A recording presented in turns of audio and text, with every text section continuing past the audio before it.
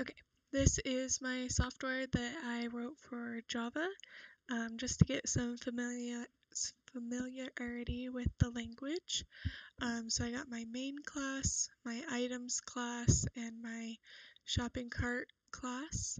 Um, so in my shopping cart class, I imported the library to use an array, um, which will hold all of my items in a shopping cart variable.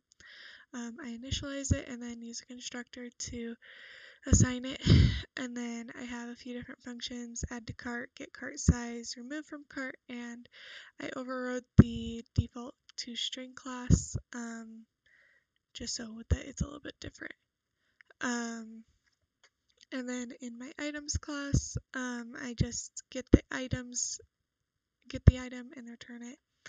Uh, and then in my main class, this is where I'm adding and removing and printing the shopping cart list. So um, I've assigned my items to different variables 1 through 8 here. So butter, Oreos, steak, turkey, Pringles, Cheerios, milk, and eggs. Um, and I initially initialize a new shopping cart array with the size of 0. Um, and then I start adding all of my items into the cart. And then uh, I display the items of the cart.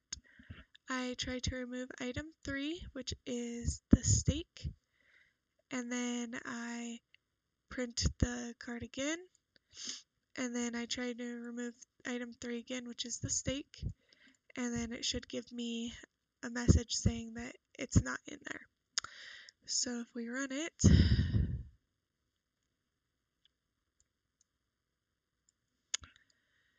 um, you get item has been added, one, two, three, four, five, six, seven, eight. So it added all of them. Here it printed my current shopping list. So butter, Oreo, steak, turkey, Pringles, Cheerios, milk, and eggs.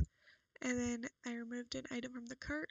Butter, Oreos, turkey. You can see that steak is now missing between Oreos and turkey. And then I tried to remove the steak again and it says item was not in cart. Um, so that is my Java software um, that was introducing me to the language. Um, and that's it.